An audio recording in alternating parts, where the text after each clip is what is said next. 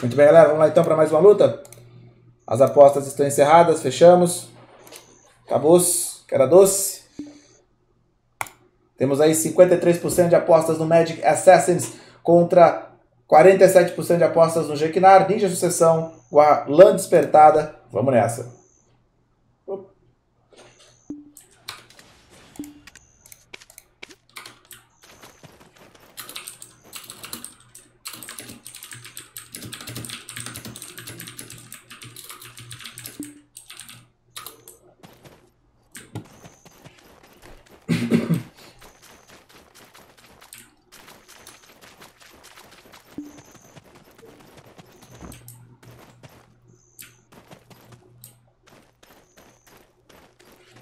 Muito bem, tive que reiniciar o round aqui que o portão bugou de novo. Acontece, né? Muito bem, partiu.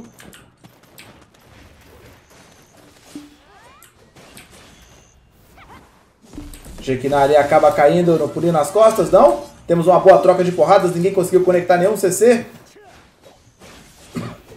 Jequiná ali joga pro alto, flutuante, prolongou para frente F. Primeira vantagem na mão do senhor Jequinar, Dilan despertada, ninja forçado a utilizar o escape.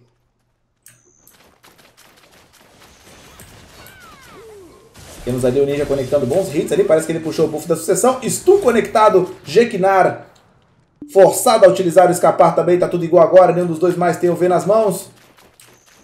O ninja ainda com o buff da sucessão ativo. Jequinar com pouquíssimo HP. Pulou nas costas, não conseguiu conectar nada, Jequinar toma mais alguns hits. Entra ali no meio da super armadura do ninja, tenta puxar o grab, mas não não consegue acertar ali a mira. O ninja sai de boa. Olha a rigidez do alto, bonito, Jequiná com novos novos segredinhos da manga. Ele vai voando, para quem não tá ligado, eu descobri essa skill há pouco tempo também. A Lan consegue de longe, do voo dela, jogar uma skill que conecta a rigidez. Vamos ver agora lá. De longe, ela joga lá voando, né? Ela dá esse tapinha, joga a rigidez. Rapaz, Jequiná ficou nos monges tibetanos, rapaz. Só treinando novas habilidades, novas skills, novas estratégias. Danadinho lá de longe, ele só. Humilde, humilde. Muito bem.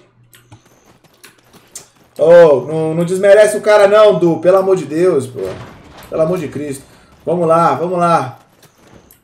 Começando aí o segundo round. Mais um grab ali agora. Ninjinha forçado a utilizar o escapar. Jequinará um passo da vitória.